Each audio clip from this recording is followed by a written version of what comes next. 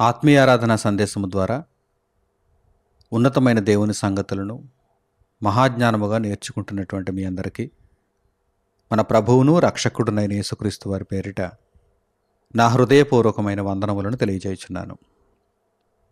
ఈరోజు ఒక గొప్ప అంశమును మనం నేర్చుకోబోతున్నాం. మన ఆత్మీయ జీవితాలలో మనకు ఎంతో అవసరమైనటువంటి సంగతిని పాఠ్యాంశముగా మనము ఈరోజు దేవుని కృపను బట్టి నేర్చుకోబోతున్నాం. కనుక ఆద్యంతం మీరు ఈ మాటలను కోల్పోకుండా జాగ్రత్తగా పరిశీలనాత్మకముగా మీ దృష్టిని ఎటు పోనివ్వకుండా పరిశుద్ధ గ్రంథములోనే మీ ఆలోచనను ఉంచి నేర్చుకోవాలని నేను సూచిస్తున్నాను. ఇస్రాయేలీలకు దేవుడు వాగ్దాన భూమిని ఇచ్చే ముందు వారు దేవుడు ఇచ్చినటువంటి భూభాగంలో ప్రవేశించిన తరువాత ఎలా బ్రతకాలో ముందుగా తెలియజేస్తున్నాడు ఈరోజు మనకు పరలోకంలో ప్రవేశించటానికి ముందుగా ఈ భూమి మీద మన నడవడిక ఎలా ఉండాలో దేవుడు తెలియజేస్తున్నాడు. ఇస్రాయేలీలకు వాగ్దాన భూమిలో ప్రవేశించిన తరువాత ఆ భూమి యందు వారి యొక్క జీవనం ఎలా ఉండాలో దేవుడు వారికి తెలియజేశాడు దేవుడు ఇస్రాయేలీలకు కనాను దేశంలో ఎలా జీవించాలో తెలియజేస్తున్నటువంటి క్రమంలో కొన్ని అద్భుతమైనటువంటి సూచనలను దేవుడు ముందుగా చేశాడు. వాటిని ఇప్పుడు మనం చూద్దాం. సంఖ్యాకాండము ముప్పై మూడవ అధ్యాయము యాభయో వాక్యం నుండి మనం చూడగలిగితే ఇస్రాయేలీలను నడిపిస్తున్నటువంటి నాయకుడైన మోషేకు దేవుడు ఈ విషయాలను తెలియపరుస్తున్నాడు. ఈ సంగతులను మనం ఇప్పుడు చూద్దాం. సంఖ్యాకాండము ముప్పై మూడవ అధ్యాయము యాభయో వాక్యం నుండి ఎరుకో యొద్ద అనగా యొర్దానుకు సమీపమైన మోయాబు మైదానములలో యెహోవా మోషేకు ఇలాగు సెలవిచ్చాను. నీవు ఇస్రాయేలీలతో ఇట్లనుము. మీరు యొర్దానును దాటి కనాను దేశమును చేరిన తరువాత ఆ దేశ నివాసులందరినీ మీ ఎదుట నుండి వెళ్ళగొట్టి వారి సమస్త ప్రతిమలను నాశనము చేసి వారి పోత విగ్రహములన్నిటినీ నశింపజేసి వారి ఉన్నత స్థలములన్నిటినీ పాడు చేసి ఆ దేశమును స్వాధీనపరుచుకొని దానిలో నివసింపవలను. ఎలయనగా దాని స్వాధీనపరుచుకొనున్నట్లు ఆ దేశమును మీకిచ్చితిని. దేవుడు ఇస్రాయేలీలకు కనాను దేశమును వాగ్దానం చేసి స్వాధీనపరుచుకునేటట్లుగా ఇచ్చేశాడు. ఇస్రాయేలీయులు కనాను దేశాన్ని స్వతంత్రించుకునే ముందు కనాను దేశంలో అప్పటికే కొంతమంది నివసిస్తున్నారు. వారిని అందరినీ ఆ ప్రాంతము నుండి దేవుడు నిర్మూలిస్తున్నాడు వెళ్ళగొడుతున్నాడు. ఎందుకని?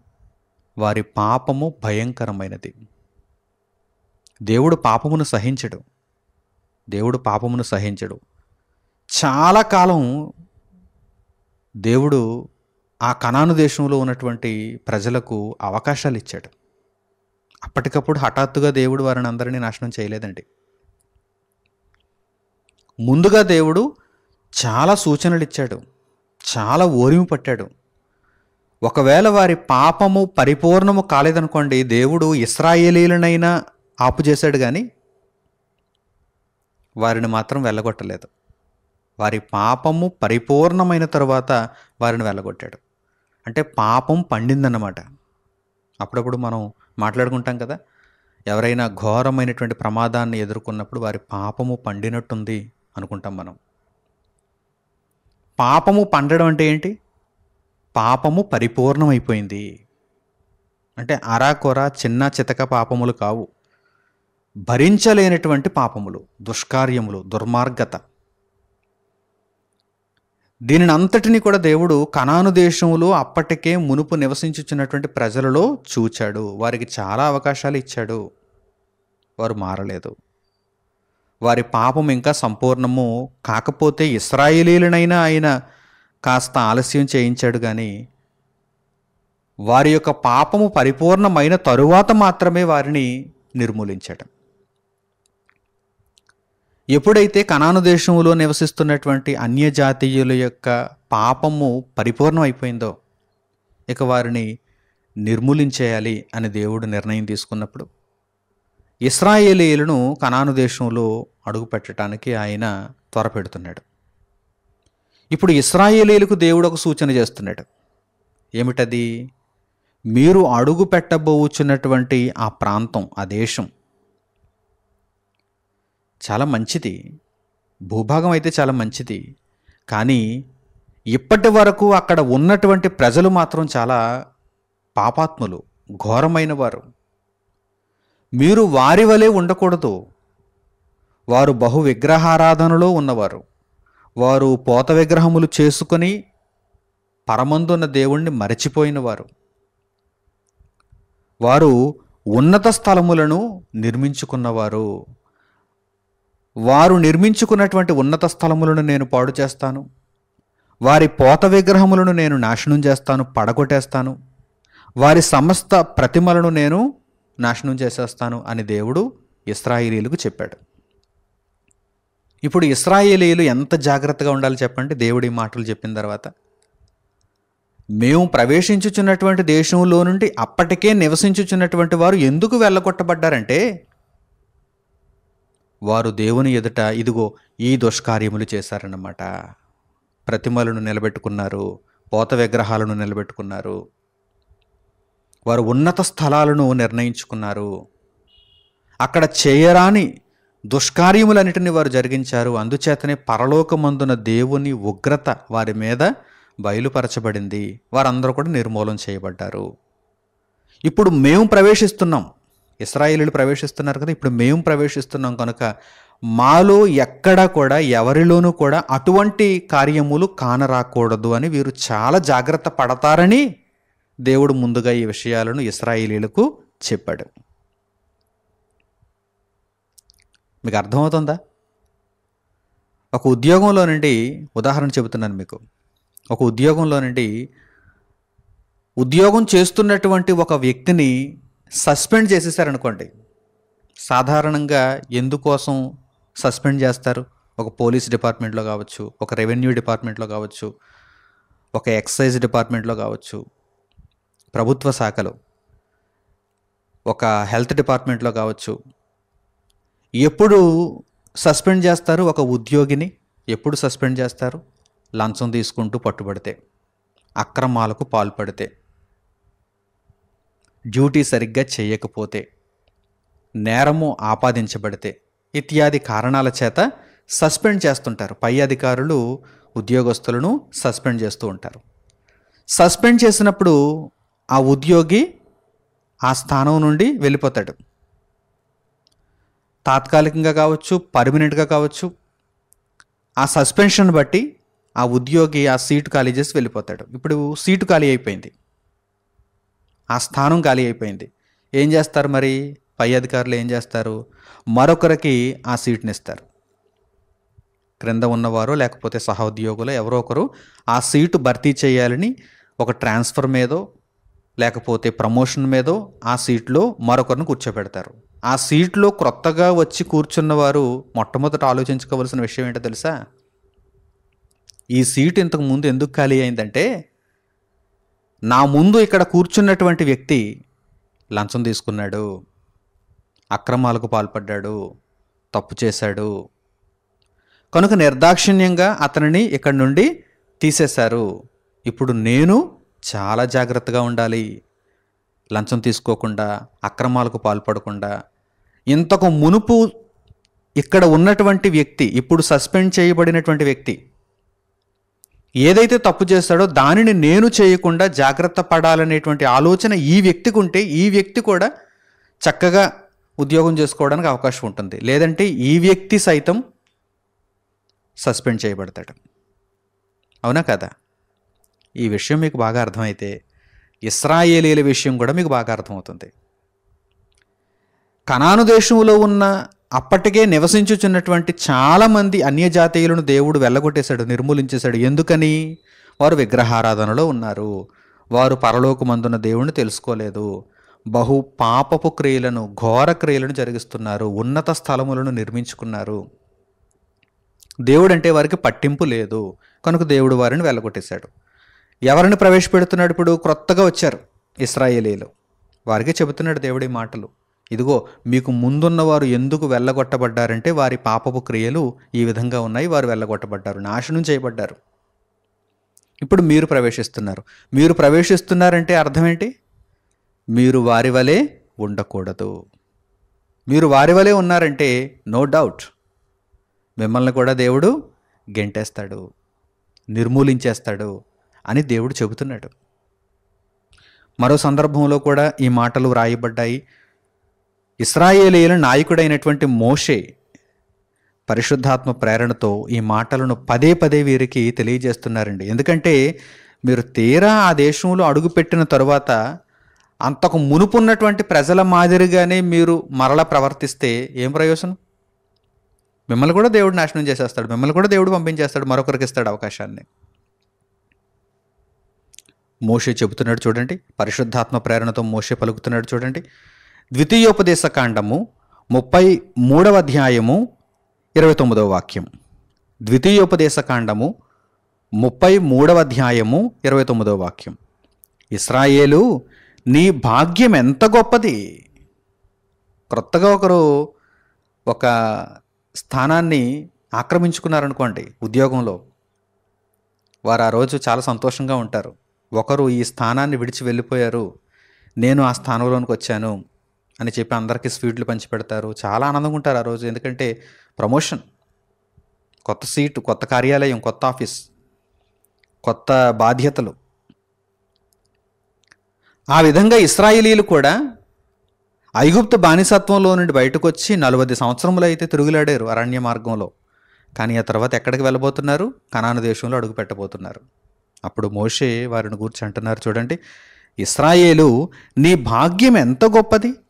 యహోవా రక్షించిన నిన్ను పోలినవాడెవడు? యహోవా రక్షించిన నిన్ను పోలినవాడెవడు?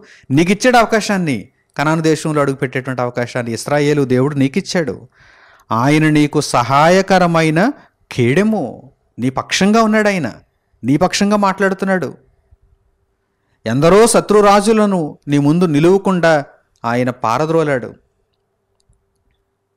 నీకంటూ ఒక రాజు లేడు నీకంటూ ఒక సైన్యం లేదు నీకంటూ సుస్థిరమైనటువంటి ఒక భూభాగం లేదు. అయినప్పటికీ దేవుడు నీ పక్షంగా ఉండి దేవుడే నీ రాజుగా దేవుడే నీ సైన్యంగా దేవుడే నీ ప్రాంతంగా నీ నివాసముగా నీ పక్షాన కొట్లాడాడు ఆయన.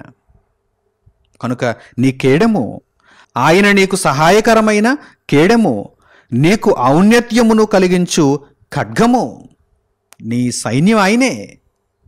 ఒక సేనాధిపతి లేడు సైన్యం లేరు మేమేమో ప్రజలం. ఇప్పటికే సుస్థిరంగా ఉన్నటువంటి రాజులను రాజ్యాలను ఎలా ఎదుర్కోగలమని నీవు బెదరవలసిన పనే లేదు. ఎందుకంటే నీ ఖడ్గం ఆయనే నీ సైన్యం ఆయనే. నీ శత్రువులు నీకు లోబడినట్లుగా వారు వేషము వేయుదురు. వారు నీ ముందు నటించాల్సిందే వారు నీ ముందు బెదిరిపోవలసిందే నీ శత్రువులు. తర్వాత నీవు వారి ఉన్నత స్థలములను త్రొక్కుదువు. దేవునికి ప్రధానంగా. ఈ కణాను దేశంలో అప్పటికే నివసిస్తున్నటువంటి అన్యజాతీయులలో నచ్చనిదేంటో తెలుసా? నచ్చనిదేంటో చెప్పమంటారా? ఉన్నత స్థలములు. నోట్ దిస్ పాయింట్ ఈరోజు మన పాఠ్యాంశము దీనిని గుర్చే. మోషే ఇస్రాయేలీలను దేవుని తరఫున దీవిస్తూ ఏమంటున్నారు చూడండి? నీవు వారి ఉన్నత స్థలములను త్రొక్కుదువు. వారికేమో అవి ఉన్నత స్థలములు. నీవు వాటిని తొక్కేస్తావు. నీ పాదముల క్రింద ఉంటాయి. ఎవరి కింద ఎవరి పాదముల క్రింద ఎవరు తొక్కేస్తారు? ఇస్రాయేలీలు. ఎందుకంటే ఆ అన్యజాతీయులలో దేవునికి నచ్చనిది ఈ ఉన్నత స్థలం అనేటువంటి పదం. ఉన్నత స్థలము అంటే ఆ పదానికి ఉన్నటువంటి అర్థం ఏంటి? హై ప్లేస్ వాల్యుబుల్ ప్లేస్ ఉన్నత స్థలము. ఇస్రాయేలీలు కనాను దేశంలో అడుగు పెడుతున్నప్పుడు దేవుడు ఈ విషయాలను వారికి తెలియజేస్తున్నాడు. ఇదిగో ఇంతకు మునుపు ఇక్కడ నివసించినటువంటి ప్రజలు ఉన్నత స్థలములను నిర్మించుకున్నారు. నీవు ఆ ఉన్నత స్థలములను త్రొక్కాలి అంటే పడగొట్టాలి వాటిని నాశనం చేయాలి అని దేవుడు వారికి సూచించాడు. ఏమిటి ఉన్నత స్థలములు ఎంతకీ? ఉన్నత స్థలములు అనగా ఏమిటి? ఈ భూమి మీద మనుషులు తమకంటూ ఒక దేవుణ్ణి తయారు చేసుకుని తమ ఇష్టానుసారముగా దేవుళ్ళను దేవతలను వారు ఒక ప్రతిమ రూపంలో ఒక విగ్రహం రూపంలో వారంతట వారు తయారు చేసుకొని ఇవే మాకు దేవతలు ఇవే మాకు దేవుళ్ళు అని చెప్పి ఎత్తైనటువంటి కొండల మీద చక్కగా ఉన్నటువంటి ప్రదేశములలోనూ వారు ఆ ప్రతిమలకు గోపురములు నిర్మించి నివాసములు నిర్మించి వాటిని పూజించటం ఈ ఉన్నత స్థలాలను సూచిస్తుంది. ఇస్రాయేలీలు కనాను దేశంలో అడుగుపెట్టే ముందు కనాను దేశంలో ఉన్నటువంటి ఆయా జాతుల ప్రజలు వారందరూ కూడా ఎటువంటి పరిస్థితులలో ఉన్నారో చూడండి. భయంకరమైనటువంటి విగ్రహారాధనలో ఉన్నారు. ఈ విగ్రహాలన్నీ ఎక్కడుంటాయి? ఉన్నత స్థలముల మీద ఉంటాయి. ఈ ఉన్నత స్థలముల మీద విగ్రహాలను నిలుపుకొని వీరంతటి వీరే కొన్ని విధులను కొన్ని ఆచారాలను కొన్ని ఆజ్ఞలను రాసేసుకుని వీటి ప్రకారం మనం నడుచుకోవాలి అని వారంతట వారే ఒక నిర్ణయానికి వచ్చేశారు. ఆన్యజాతీయులు. అన్యజాతీయులు వాటినే దేవుడు ఉన్నత స్థలములు అన్నాడు. నిజానికి ఉన్నత స్థలము ఎక్కడుంది? పరలోకంలో ఉంది. ఈ భూమి మీద మనుషులు నిర్ణయించడం ఏంటి? ఇది ఉన్నత స్థలం ఇది ఉన్నత స్థలం ఇక్కడ ఉంటాడు దేవుడు అక్కడ ఉంటాడు దేవుడు అని. ఆయన పరలోకమందు ఉన్నాడు దైవ గ్రంథాన్ని ఎప్పుడైనా చదివితే అర్థమవుతుంది ఈ విషయం. దేవుని ఆచూకీ దేవుని చిరునామా. నిశ్చయముగా ఆయన ఈ లోకమందు నివాసము చేయడు. ఎందుకనగా ఆకాశము ఆయన సింహాసనము భూమి ఆయన పాదపీఠము. ఈ భూమి మీద దేవునికి నివాసాన్ని కట్టడానికి మనమెవరం దేవుడు చెప్పాడా నాకు ఒక నివాసాన్ని కట్టు అని. నేను ఇక్కడ ఉండాలనుకుంటున్నాను అని దేవుడు ఏమైనా అడిగాడా? దేవుడు మనల్ని ఏమైనా అర్థించాడా కోరుకున్నాడా? బాబయ్య బాబయ్య నా కోసం ఒక నివాసాన్ని కట్టు చక్కగా ఉండాలి ఎత్తైన ప్రాంతంలో ఉండాలని ఏమైనా అడిగాడా?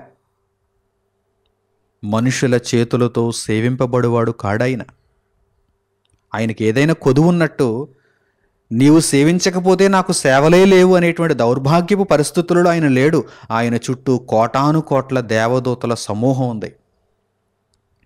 వారంతా ఎల్లప్పుడూ నిత్యము పరిశుద్ధుడు పరిశుద్ధుడు పరిశుద్ధుడు అని గాన ప్రతిగానములు చేస్తున్నాయి. గడపకమ్ముల పునాదులు అదిరిపోయేటట్టుగా. ఆయన చుట్టూ శరాపులున్నారు మహాదూతలు. నిత్యము ఆయనను పొగుడుతున్నారు. ఆయన వైభవం ప్రపంచంలో ఇంకా ఎవరికి తెలియకపోవచ్చు. పరలోకంలో ఆయన వైభవం అసలు వర్ణింప సఖ్యము కానిది. మన మాటలకు అందనిది.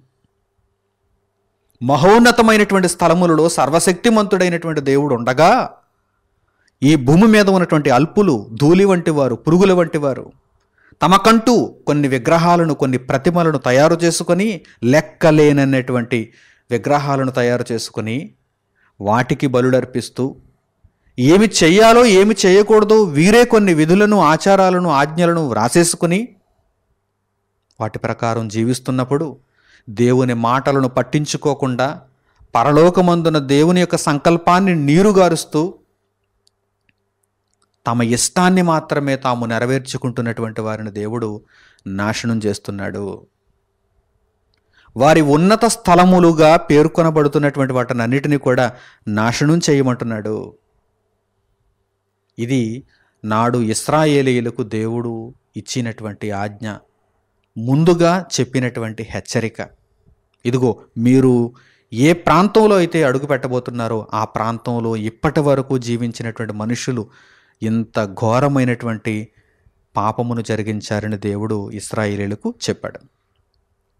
ఇప్పుడు ఇస్రాయిలీలందరూ ఈ మాటలను విన్న తర్వాత ఎంత మంచి ప్రవర్తన కలిగి ఉండాలి చెప్పండి వీరికంటూ ఒక ధర్మశాస్త్రం ఉంది. వీరికి దేవుడు ధర్మశాస్త్రాన్ని ఇచ్చాడు. వీరి కొరకు దేవుడు న్యాయాధిపతులను ఏర్పరిచాడు. ఆ తర్వాత రాజులను ఇచ్చాడు. వీరందరూ కూడా దేవుని యొక్క మార్గమును అనుసరించటానికి అన్ని విధముల దేవుడు వీరికి సహకరించాడు. ఇస్రాయేలీలు ఎలా ఉండాలి చెప్పండి? ఏమాత్రం కుడికి గాని ఎడమకు గాని తొలగిపోకుండా దేవుడిచ్చినటువంటి ధర్మశాస్త్రమును చక్కగా నెరవేర్చుచు తాము దేవునిలో ఉంటూ తమ చుట్టూ ఉన్నటువంటి ప్రపంచమంతటికి దేవుని యొక్క పరిమళ సువాసనను వెదజల్లాలి. కానీ ఎలా మారిపోయారో తెలుసా? ఈ ఇస్రాయిలీలు ఎలా మారిపోయారో తెలుసా? తాము ఏ దేశంలో అయితే అడుగుపెట్టారో ఆ దేశంలో అంతకు మునుపున్నటువంటి ప్రజలు ఏ కారణము చేత అయితే వెళ్ళగొట్టబడ్డారో అదే కారణాన్ని వీరు కూడా కలిగి ఉన్నారు. అంటే అంతకు మునుపు నివసించినటువంటి అమోరియులు కావచ్చు అమాలేకీయులు కావచ్చు హివ్వీయులు కావచ్చు యబూసీయులు కావచ్చు హిత్తీయులు కావచ్చు పెరిజ్జీయులు కావచ్చు. ఈ అన్యజాతీయులందరూ కూడా దేవుని ఎదుట ఎంత భయంకరమైనటువంటి ప్రవర్తనను చూపించారో అటువంటి ప్రవర్తనని ఇస్రాయేలీలు కూడా చూపించడం మొదలుపెట్టారు. వారు ఏ విధంగా అయితే ప్రతిమలను నిలబెట్టుకున్నారో వారు ఏ విధంగా అయితే విగ్రహారాధనలో మునిగిపోయారో వారు ఏ విధంగా అయితే వ్యభిచారులుగా కనిపించారో వారు ఏ విధంగా అయితే ఉన్నత స్థలములను నిర్మించుకున్నారో ఆ విధంగానే ఏమాత్రం తీసిపోకుండా ఆ కణాను దేశంలో ప్రవేశించినటువంటి ఇస్రాయేలీలు దేవుని దృష్టి ఎదుట పాపమును జరిగించారు. దేవుని మనస్సు ఎంత కకావికలమైపోతుందో ఒక్కసారి మీరు గమనించండి. ఇస్రాయేలీలు నా వారు అనుకున్నానే వారికి నేను ఒక కేడెముగా ఉన్నానే వారి తరపున నేను ఒక ఖడ్గముగా యుద్ధం చేశానే వారిని ఎంతో గొప్పగా ఈ దేశంలో ప్రవేశపెట్టినందుకు ముందుగా నేను ఈ విషయాలన్నిటినీ చెప్పినా సరే వారు నా మాటలను అతిక్రమించారు అని చెప్పి దేవుడు మహోగ్ర రూపుడైపోయాడండి వెంటనే కాకపోవచ్చు. ఇస్రాయేలీలు కనాన్ దేశంలో అడుగుపెట్టిన వెంటనే కాకపోవచ్చు. కాలక్రమేణా కొంతకాలానికి ఇస్రాయేలీల్లో ఎక్కువ భాగం మంది మనుషులు ఈ విధంగా మారిపోయారండి ముఖ్యంగా ఇస్రాయేలీలలో ఎప్పుడైతే రాచరిక వ్యవస్థ వచ్చిందో ఇస్రాయేలీలు రాజుల పరిపాలన క్రిందకు వచ్చారో ఆ రాజులే చెడ్డవారిగా తయారైనప్పుడు ఇక ఇస్రాయేలీలలో చెడుతనం ఎంత ఘోరంగా కనిపిస్తుందో మన అంచనాలకు అందదు. ఇస్రాయేలు రాజులలో మొదట సౌలు మనకు కనిపిస్తున్నాడు ఆ తర్వాత దావీదు మనకు కనిపిస్తున్నాడు తర్వాత సులోమన్ మనకు కనిపిస్తున్నాడు. వీరి పరిపాలనా కాలంలో కాస్త బాగానే ఉన్నా కానీ ఎప్పుడైతే ఇస్రాయేలు రాజ్యం రెండు రాజ్యాలుగా చీలిపోయిందో ఒకటి ఇస్రాయేలు రాజ్యం మరొకటి యూదా రాజ్యం ఈ విధంగా చీలిపోయిందో అప్పటి నుండి ఈ రాజ్యాలను పరిపాలిస్తున్నటువంటి రాజుల పరిస్థితి ఘోరంగానే ఉంది. పరిపాలింపబడుతున్నటువంటి ఇస్రాయేలీల పరిస్థితి కూడా ఘోరంగానే ఉంది. ఏ కార్యక్రమాలనైతే దేవుడు అంతకు మునుపున్నటువంటి ప్రజలలో సహించలేకపోయాడో ఇప్పుడున్న ఇస్రాయిలీలలో కూడా అవే కార్యక్రమాలు కనిపించాయి. దేవుడు సహించలేకపోయాడు. అందుకే వారు ఏమి చేశారో ప్రతిదానిని కూడా పోసగుచ్చినట్టుగా దేవుడు పరిశుద్ధ గ్రంథంలో పొందుపరిచాడు తెలియజేశాడు. కొన్ని విషయాలను ఉదాహరణలుగా మనం ఇప్పుడు చూద్దాం. వేటినైతే అంతకు మునుపున్నటువంటి అన్యజాతీయులు జరిగించారు. వాటినే మరలా ఇస్రాయేలీలు పునరావృత్తం చేశారు. ఇస్రాయేలీలు రాజ్యాలను పరిపాలించుచున్నటువంటి రాజులు మరల వాటినే వెంబడించారు. దేవుడు ఈ విషయాలన్నింటినీ కూడా వ్రాయించాడు. ఎందుకంటే ఒక ఆధారం ఉండాలి. భవిష్యత్తు తరాలకు ఇవన్నీ ఒక పాఠంగా నేర్పింపబడాలని దేవుడు కోరుకున్నాడు. అందుచేతనే ప్రతి రాజు దగ్గర కూడా చెడు ప్రవర్తన ప్రవర్తించినటువంటి ప్రతి రాజు దగ్గర కూడా వాడెందుకు దుర్మార్గుడిగా మారాడు? వాడు ఏ విషయంలో దేవుని ఎదుట పాపము చేశాడు అనే విషయాన్ని దేవుడు పొందుపరిచాడు. చూద్దాం. రాజులు మొదటి గ్రంథము పదిహేనవ అధ్యాయం దగ్గరకు మనం వెళ్ళగలిగితే యోధారాజు అయినటువంటి ఆశ మనకు కనిపిస్తున్నాడు. ఎక్కువ కాలం పరిపాలన చేశాడు ఆశ యోధారాజు అయినటువంటి ఆశ పరిపాలన చేసినప్పుడు అతను గూర్చి వ్రాయబడినటువంటి ఒకనొక విషయాన్ని ఇప్పుడు మీరు గమనించండి. రాజులు మొదటి గ్రంథము పదిహేనవ అధ్యాయము పద్నాలుగవ వాక్యం. రాజులు మొదటి గ్రంథము పదిహేనవ అధ్యాయము పద్నాలుగవ వాక్యం. ఆశ తన దినములన్నీయు హృదయపూర్వకముగా యహోవాను అనుసరించెను గాని ఉన్నత స్థలములను తీసివేయకపోయెను. యోధారాజు అయినటువంటి ఆశాను గూర్చి ఏమని రాయబడిందో చూడండి. చక్కగా అతడు యహోవాను అనుసరించాడు. హృదయపూర్వకముగా యహోవాను అనుసరించాడు. కానీ ఎందుకు వ్రాయబడాల్సి వచ్చింది మాట? కానీ అనేటువంటి మాట ఏదో తప్పు చేశాడు. అది దేవునికి నచ్చనిది. అది దేవునికి నచ్చనిది. కనుక వ్రాయబడింది చూడండి. కానీ ఉన్నత స్థలములను తీసివేయకపోయెను. ప్రజలందరూ కూడా ఉన్నత స్థలాలకు వెళ్ళిపోయి బలులు అర్పిస్తున్నారు వారికి ఇష్టమైనట్టుగా తిరుగుతున్నారు. వారికి నచ్చినటువంటి ప్రతిమలను అక్కడ నిలబెట్టుకుంటున్నారు వాటికి పూజలు చేస్తున్నారు దేవుణ్ణి మర్చిపోతున్నారు పరలోకమందున్న తండ్రిని మర్చిపోతున్నారు. మరి రాజుగా ఉన్నప్పుడు ఆ అధికారాన్ని హోదాను కలిగి ఉన్నప్పుడు మంచి చేయాలి కదా ప్రజలకి? అలా చేయలేకపోయాడు. అందుకే ఆ బలహీనత అక్కడ వ్రాయబడింది. యోధారాజు అయినటువంటి ఆశ యొక్క బలహీనత అక్కడ వ్రాయబడింది. హృదయపూర్వకంగా దేవుణ్ణి అనుసరించినా కానీ మరి ఉన్నత స్థలాలను ఎందుకు తీసివేయకపోయావని దేవుడు ప్రశ్నిస్తున్నాడు. ఈ ఉన్నత స్థలాలు ఏం చేస్తున్నాయి? మనుషులను తప్పుడు మార్గములలో నడిపిస్తున్నాయి. ఆ ఉన్నత స్థలాలలో మనుషులు పెట్టుకున్నటువంటి ప్రతిమలు విగ్రహాలు ఉన్నాయి అక్కడ దేవుని ధర్మశాస్త్రానికి చోటు లేదు. అక్కడ పరలోకమందున్న దేవుని యొక్క ఆలోచనలకు తావులేదు మనుషులు వారి ఇష్టానుసారంగా అక్కడ వెళుతారు. అక్కడ వారు వారి ఇష్టాన్ని పాటిస్తారు. అందుచేత ఉన్నత స్థలములను ఏం చేయాలి? తీసేయాలి. కానీ యోధారాజైన ఆశ తీయలేకపోయాడు. తరువాత మరలా రాజులు వచ్చారు. వారేమైనా తీసారా చూద్దాం. వారిని గూర్చి దేవుడు వ్రాయించినటువంటి సంగతులను మనం ఆలోచన చేద్దాం పరిశుద్ధ గ్రంథంలో. రాజులు మొదటి గ్రంథము ఇరవై రెండవ అధ్యాయం దగ్గరికి వెళ్ళగలిగితే యోధారాజు అయినటువంటి యహోషాపాతు మనకు కనిపిస్తున్నాడు. రాజులు మొదటి గ్రంథము ఇరవై రెండవ అధ్యాయము నలభై మూడవ వాక్యాన్ని చూడండి.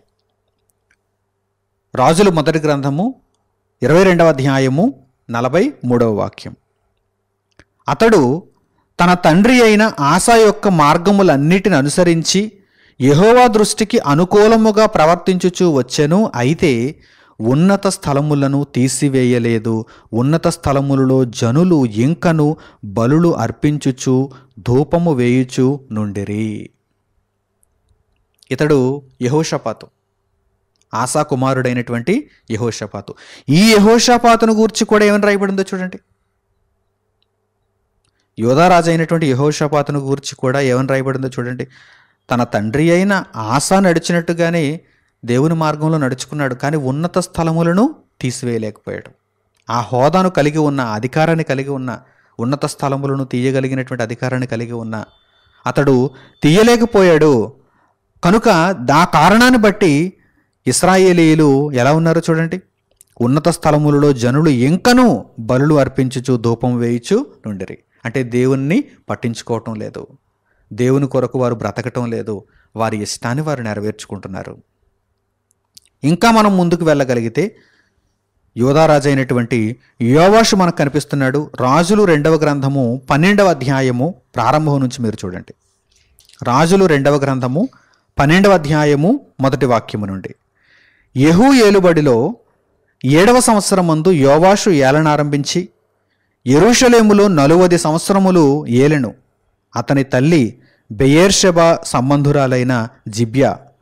యాజకుడైన యహోయాద తనకు బుద్ధి నేర్పువాడయ్యుండు దినములన్నిటిలో యోవాషు యహోవా దృష్టికి అనుకూలముగానే ప్రవర్తించెను. అయితే రాయబడింది మరలా అయితే ఈ లోపాన్ని దేవుడు కనుగొంటున్నాడండి. ప్రతి రాజు దగ్గర ప్రతి పరిపాలనా కాలంలోనూ దేవుడు ఇదే లోపాన్ని కనుగొంటున్నాడు. అయితే ఉన్నత స్థలములు కొట్టివేయబడక నిలిచెను. ఆ ఉన్నత స్థలాలను కొట్టివేయలేనటువంటి దుర్బలుడుగా కనిపిస్తున్నారు వీరు. ఆ ఉన్నత స్థలాలు ఉండటం వల్లే కదా ప్రజలు ధర్మశాస్త్రాన్ని అనుసరించలేకపోతున్నారు. దేవుని కొరకు బ్రతకలేకపోతున్నారు. నీతిని వారు వెంబడించలేకపోతున్నారు. వారి ఇష్టాన్ని వారు నెరవేర్చుకోవడానికి ఆ ఉన్నత స్థలములే కదా కారణం. కానీ ఈ రాజులు కొంతవరకు అయితే దేవుణ్ణి వెంబడిస్తున్నా కానీ దేవునికి పరిపూర్ణమైన సంతోషాన్ని ఇవ్వలేకపోతున్నారు. దేవుని సంకల్పాన్ని పూర్తిగా నెరవేర్చలేకపోతున్నారు. అయితే ఉన్నత స్థలములు కొట్టివేయబడక నిలిచెను. జనులు ఎంకను ఉన్నత స్థలములందు బలులు అర్పించుచు ధూపము వేయుచు నుండిరి. ఏమంటే ప్రతిసారి దేవుడు ఇదే మాట వ్రాయిస్తున్నాడు చూడండి ఇదే మాట. అంటే దేవునికి ఆ విషయం ఒక లోపముగా మనుషులలో కనిపిస్తోంది. ఈ లోపాన్ని పూడ్చేవారెవరు? దేవుడు ఎదురు చూస్తున్నాడు. కానీ ఇస్రాయేలీలు వారి యొక్క పరిపాలకులు ఇదే విధముగా ఆ ఉన్నత స్థలములనైతే ఉండనిస్తున్నారు. మేము దేవుని ప్రజలమే అంటున్నారు మరలా. అలాగని పూర్తిగా దేవుని విడిచిపెట్టడం లేదు. మేము దేవుని ప్రజలమే అంటున్నారు. కానీ ఉన్నత స్థలాలను మాత్రం వారి హృదయాలలో ఉన్నతంగానే చూస్తున్నారు. కనుక ఆ ఉన్నత స్థలాలను ఏం చేయలేకపోతున్నారు? కొట్టివేయలేకపోతున్నారు. బాగా అర్థం చేసుకోవాలి. ఇవన్నీ కూడా మన ఆత్మీయ జీవితాలకు పాఠాలే. చక్కగా మీరు వీటిని అనుసరించాలి నేర్చుకోవాలి. ఇంకా ముందుకు వెళదాం. ఇంకా ముందు పరిపాలన చేసినటువంటి రాజులు ఉన్నారు కనుక వారేవైనా పోని ఈ ఉన్నత స్థలాలను తీసేశారేమో చూద్దాం. యోధారాజు అయినటువంటి అమజ్య మనకు కనిపిస్తున్నాడు. రాజులు రెండవ గ్రంథము పద్నాలుగవ అధ్యాయము మొదటి వాక్యం నుండి చూడండి. రాజులు రెండవ గ్రంథము పద్నాలుగవ అధ్యాయము మొదటి వాక్యం నుండి. ఇస్రాయేలు రాజును యహోయాహాజు కుమారుడనైన యహోయాషు ఏలుబడిలో రెండవ సంవత్సరమందు యోధారాజును యోవాషు కుమారుడనైన అమజ్య రాజాయను. అతడు ఏలనారంభించినప్పుడు ఇరువది ఐదేండ్లవాడై ఎరుషలేమునందు ఇరువది తొమ్మిది సంవత్సరములు ఏలెను.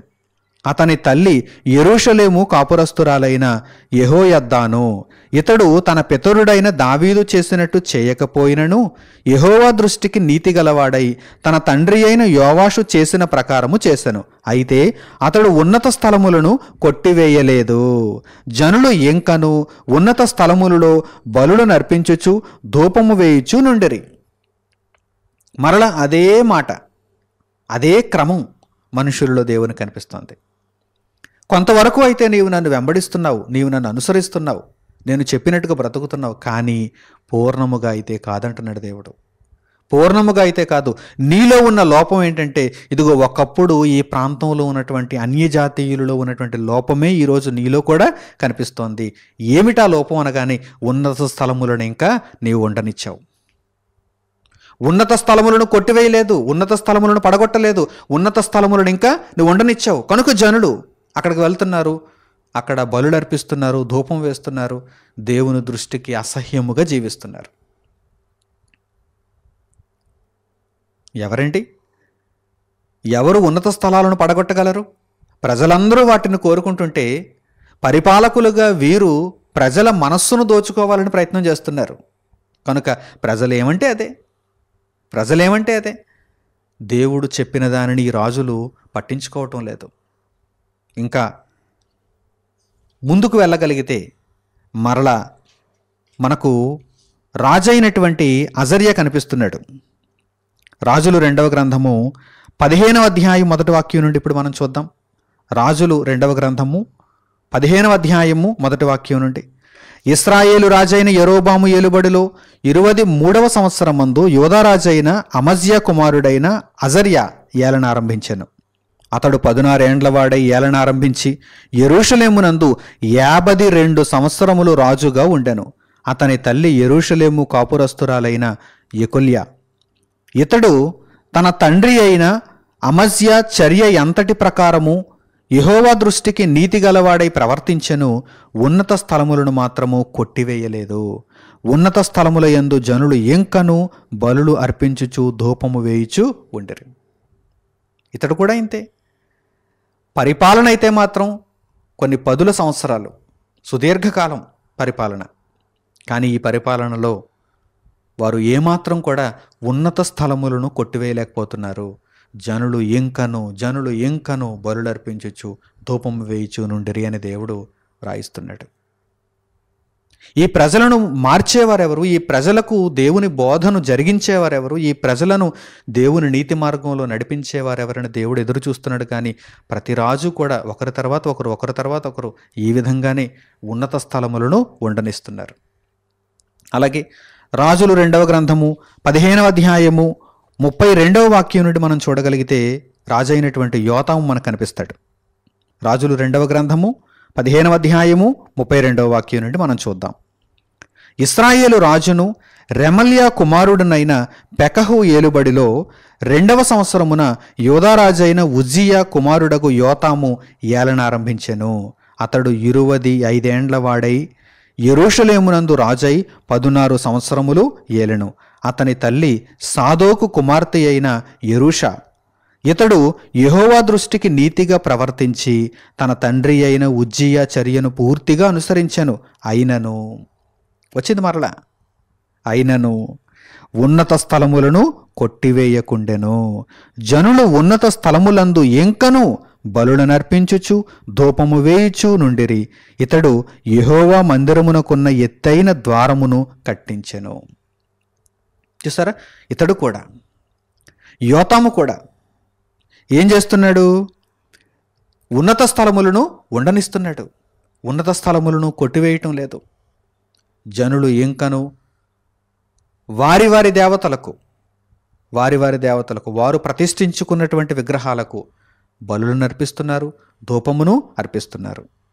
ఇంకా మరల మనం ముందుకు వెళుతూ చూడగలిగితే పదహారవ అధ్యాయము ప్రారంభం నుంచి మనకు ఈ వాక్య భాగంలో రాజైనటువంటి ఆహాజు కనిపిస్తున్నాడు. ఇతడు కూడా అంతే. ఇతడు కూడా ఆక్రమాన్ని కొనసాగించాడు. ఉన్నత స్థలములను కొట్టివేయలేదు. చూడండి. రాజులు రెండవ గ్రంథము పదహారవ అధ్యాయము మొదటి వాక్యం నుండి. రెమల్యా కుమారుడైన పెకహు ఏలుబడిలో పదునేడవ సంవత్సరం ముందు యోధారాజు అయిన యోతాము కుమారుడకు ఆహాజు ఏలన ఆరంభించాను. ఆహాజు ఏలన ఆరంభించినప్పుడు ఇరువది ఏండ్లవాడై ఎరూషలేమునందు పదునారు సంవత్సరములు ఏలెను. తన పితరుడగు దావీదు తన దేవుడైన యహోవా దృష్టికి నీతిగా ప్రవర్తించినట్లు అతడు ప్రవర్తింపక. ఇస్రాయేలు రాజులు ప్రవర్తించినట్లు ప్రవర్తించెను. అతడు ఇస్రాయేలీయుల ముందర నిలువకుండా యహోవా వెళ్ళగొట్టిన జనులు చేసిన హేయమైన క్రియలు చేయొచ్చు రాయబడింది చూడండి. ఇస్రాయేలీయుల ముందర ఏ జనులైతే నిలువబడక దేవుని చేత వెళ్ళగొట్టబడ్డారో ఆ జనులు చేసిన క్రియలే వీరు కూడా చేస్తే. ఇక దేవుడు వారిని వెళ్ళగొట్టి వీరిని అక్కడ ప్రవేశింపజేసి ఉపయోగం ఏముంది చెప్పండి? కానీ వీరు అలాగే చేశారు.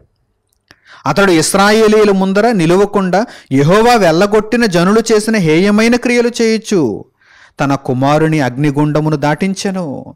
మరియు అతడు ఉన్నత స్థలములలోనూ కొండ మీదను సమస్తమైన పచ్చని వృక్షముల క్రిందను బలులు అర్పించుచు ధూపము వేయుచు వచ్చెను. ఈ రాజు చాలా భయంకరుడు ఆహాజు. ఇతడే అలా ప్రవర్తిస్తే అతని పరిపాలనలో ఉన్నటువంటి మిగిలిన ప్రజలందరూ కూడా అదే త్రోవను అనుసరిస్తారు కదా. రాజుగారు ఇలా చేస్తున్నారంటే ఉన్నత స్థలముల ఎందు ఇదిగో బలులు అర్పిస్తున్నారు అగ్నిగుండాలు దాటేస్తున్నారు. పచ్చని ప్రతి చెట్టు కింద విగ్రహారాధన చేస్తున్నారు. కనుక మనం కూడా ఇలాగే చేయాలి అని మిగిలిన ప్రజలు కూడా అనుకునేటువంటి ప్రమాదం ఉంది కదా. దేవుడు దానినే వ్రాయించాడు. పరిశుద్ధ గ్రంథంలో ఏది కూడా చెక్కు చెదరకుండా వ్రాయబడిందండి. సుస్పష్టముగా మన కొరకు తెలియచేయబడుతూ పొందుపరచబడిందండి. ఎక్కడ కూడా ఏ మాట కూడా విడిచిపెట్టబడలేదు. ప్రతి రాజు జరిగించినటువంటి కార్యములను గూర్చి దేవుడు ప్రస్తావించాడు. ముఖ్యముగా దేవుడు సూచిస్తున్నటువంటి విషయం ఏమిటి? వీరు ఉన్నత స్థలములను ఉండనిచ్చారు. ఉన్నత స్థలములను వీరు పడగొట్టలేదు. అయితే ఇప్పుడు ఒక రాజును గూర్చి మనము చూడబోతున్నాం. ఆ రాజు హిజ్గియా ఇప్పటి వరకు మనం ఎంతమంది రాజులను గూర్చి చూసాం? అందరూ కూడా వారి వారి క్రమంలో వారి తండ్రి చేసినట్టుగా వారి పితరులు చేసినట్టుగా దేవుని దృష్టికి పూర్ణముగా దేవుని మార్గమును అనుసరించలేని రాజులుగానే కనిపించారు. ఉన్నత స్థలాలను అయితే అలాగే ఉండనిచ్చారు. కానీ ఇప్పుడు ఒక గొప్ప రాజు వస్తున్నాడు చూడండి. అతని పేరు హిజ్కియా. ఈ హిజ్కియా ఎంత గొప్ప నిర్ణయం తీసుకున్నాడంటే ఇప్పటి వరకు నాకు ముందు పరిపాలన చేసినటువంటి రాజులందరూ ఉండనిచ్చినటువంటి ఈ ఉన్నత స్థలాలను పడగొట్టిస్తాను. అని నిర్ణయం తీసుకున్నాడు వాటిని అమలు చేశాడు. అందుచేతనే దేవుడు ఆ హిజ్కియా విషయంలో చాలా ఆనందపడ్డాడు. ఇంతకాలంగా ఎందరో రాజులు వచ్చారు. చాలా సంవత్సరాలు వారు పరిపాలన చేశారు. అలాగని ఒకటి రెండు సంవత్సరాలు కాదు చాలా సంవత్సరాలు పరిపాలన చేశారు. కానీ ఏనాడు కూడా వారికి అనిపించలేదు ఉన్నత స్థలాలను తొలగించాలి పరలోకమందున దేవుని వైపు మనుషులందరూ తిరిగేలా నేను చేయాలి అని ఏనాడు వారికి అనిపించలేదు. పైగా వారు కూడా కుటుంబ సమేతముగా విగ్రహారాధనలో ఉన్నారు. దేవుని దృష్టికి చెడుతనమును జరిగించారు. కానీ హిజ్గియా అయితే నేను మునుపు వచ్చినటువంటి రాజుల వలె ఉండకూడదు. నేను నా దేవుని దృష్టికి న్యాయంగా ప్రవర్తించాలి. నా కన్న తండ్రి అయిన దేవుడు నన్ను ఈ స్థానంలో కూర్చోబెట్టాడు గనక నా దేవుడు చెప్పినట్టుగా నేను బ్రతకాలి అని ఒక స్థిరమైనటువంటి మనస్సు కలిగిన వాడై హిజ్కియా ఉన్నత స్థలములను పడగొట్టించినట్టుగా పరిశుద్ధ గ్రంథంలో మనకు కనిపిస్తుంది. ఎంత చక్కని వాక్య భాగం అంటే నిజంగా మనకు ఆదరణ దొరుకుతుంది. ఈ మాటలను చదువుతున్నప్పుడు చరిత్రలో ఇంత గొప్ప రాజు కూడా మనకు కనిపిస్తున్నాడని చాలా ఆనందం కలుగుతుంది. ఈ విధంగా మనం కూడా నిర్ణయం కఠినంగా ఉన్నా కానీ దేవుని దృష్టికి యథార్థంగా మాత్రమే మనం ప్రవర్తించాలి. చూద్దాం. రాజైన హిజ్కియాను గూర్చి వ్రాయబడినటువంటి వాక్య భాగాన్ని మనం చూద్దాం. రాజులు రెండవ గ్రంథము పద్దెనిమిదో అధ్యాయము మొదటి వాక్యం నుండి మీరు చూడండి. రాజులు రెండవ గ్రంథము పద్దెనిమిదో అధ్యాయము మొదటి వాక్యము నుండి. ఇస్రాయేలు రాజును ఏలా కుమారుడునైన హోషేయ ఏలుబడిలో మూడవ సంవత్సరం ముందు యోధారాజును ఆహాజు కుమారుడునైన హిజ్కియా ఏలనారంభించెను అతడు ఏలన ఆరంభించినప్పుడు ఇరువది ఐదేండ్ల వాడై ఎరుషలేమునందు ఇరువది తొమ్మిది సంవత్సరములు ఏలెను. అతని తల్లి జకరియా కుమార్తె ఆమెకు అబి అని పేరు. తన పితరుడైన దావీదు చేసినట్లు అతడు యహోవా దృష్టికి పూర్ణముగా నీతిని అనుసరించాను. పూర్ణముగా అని చెప్పి దేవుడు ఇక్కడ రాయించాడు చూడండి. అంటే ఎక్కడ కూడా కొరత లేదు. అసంపూర్ణంగా కాదు. కొద్దిగా అనుసరించాడు కొద్దిగా ఈ విషయంలో అనుసరించలేకపోయాడు అనేటువంటి విషయం లేదు. పూర్ణముగా నీతిని అనుసరించాను. ఉన్నత స్థలములను కొట్టివేసి విగ్రహములను పగులగొట్టి దేవతా స్తంభములను పడగొట్టి మోషే చేసిన ఎత్తడి సర్పమును చిన్న భిన్నములుగా చేశాను. ఎప్పటి నుండి ఉండిపోయిందండి? ఇత్తడి సర్పం మోసే కాలం నుండి ఉండిపోయింది. ఎవరికీ వాటిని చిన్న భిన్నం చేసేటువంటి గట్స్ లేవు. కానీ ఒకడు వచ్చాడండి మొనగాడు రాజు. దేవుని బిడ్డ దేవుని చిత్తాన్ని నెరవేర్చే ఆయన కుమారుడు హిస్కియా ఎంత చక్కగా ఈ మాటలు రాయబడ్డాయి చూడండి. ఈ మాటలు రాయబడుతున్నప్పుడు దేవునికి ఎంత సంతోషం చెప్పండి.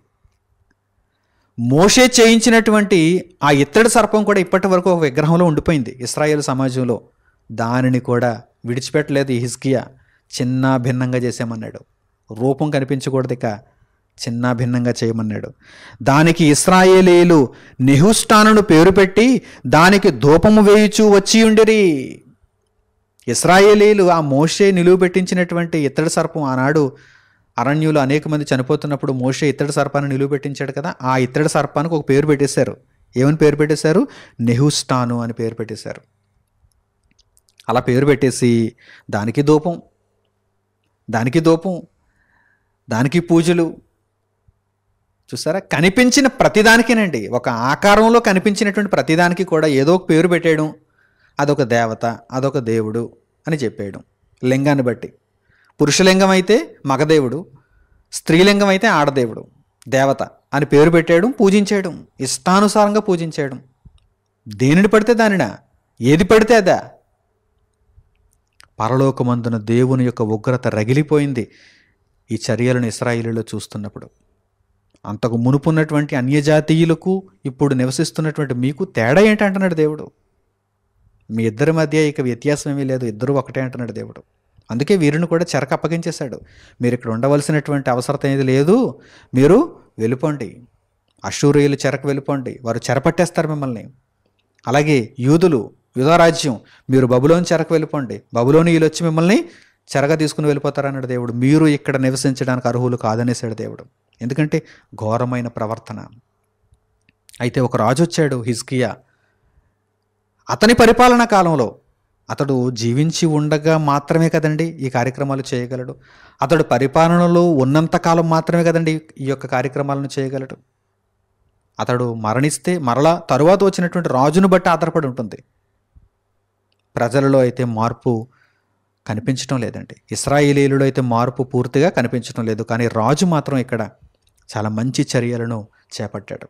అతడే రాజైన హిస్కియా అతడు ఇస్రాయేలీల దేవుడైన ఎహోవా ఎందు విశ్వాసం విశ్వాసముంచినవాడు అతని తరువాత వచ్చిన యోధారాజులలోనూ అతని పూర్వీకులైన రాజులలోనూ అతనితో సమమైన వాడు ఒకడును లేడు.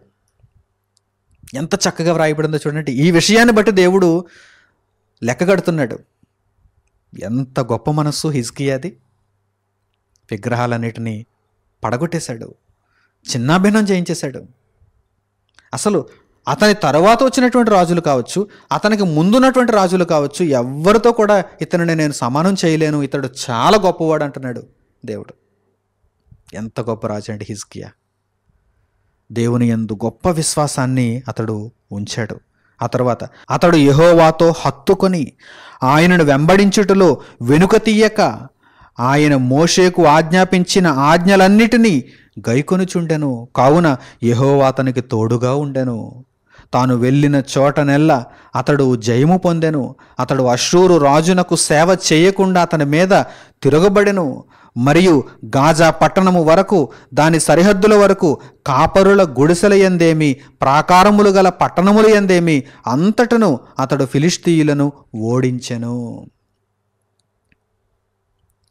ఎప్పుడైతే ఇస్రాయేలీల దేవుడైన యహోవాను అతడు పూర్ణ హృదయముతో హత్తుకున్నాడో పరలోకమందున్న దేవుని పట్ల అతని యొక్క విధేయత తారాస్థాయిలో కనిపించిందో దేవుడు అతనికి దన్నుగా నిలిచాడు.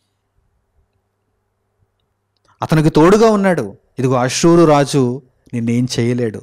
నీ వెనక నేనున్నాను అన్నాడు దేవుడు హిస్కియాతో ఫిలిస్తీయులు నిన్నేమి చేయలేరు. నీ వెనక నేనున్నానన్నాడు దేవుడు హిస్కియాతో ఎప్పుడైతే దేవుని పట్ల మనము అమితమైన విధేయతను చూపించామో దేవుడు మన పక్షంగా ఉంటాడు. మన తరఫున ఆయన యుద్ధం చేస్తాడు. ప్రియులరా ఈ విషయాలను చక్కగా మనం అర్థం చేసుకోవాలి. అయితే దేవుడు చెప్పినట్టుగానే హిస్కియాకు ముందు కానీ హిస్కియాకు తర్వాత కానీ హిస్కియా వంటి రాజు లేడు అన్నట్టుగా హిస్కియా తదనంతరం మరో రాజు వచ్చాడు. ఆ రాజు మరల ఏం చేశాడో చూద్దాం. హిస్కియా తర్వాత మరల రాజులు ఉన్నారు కదా?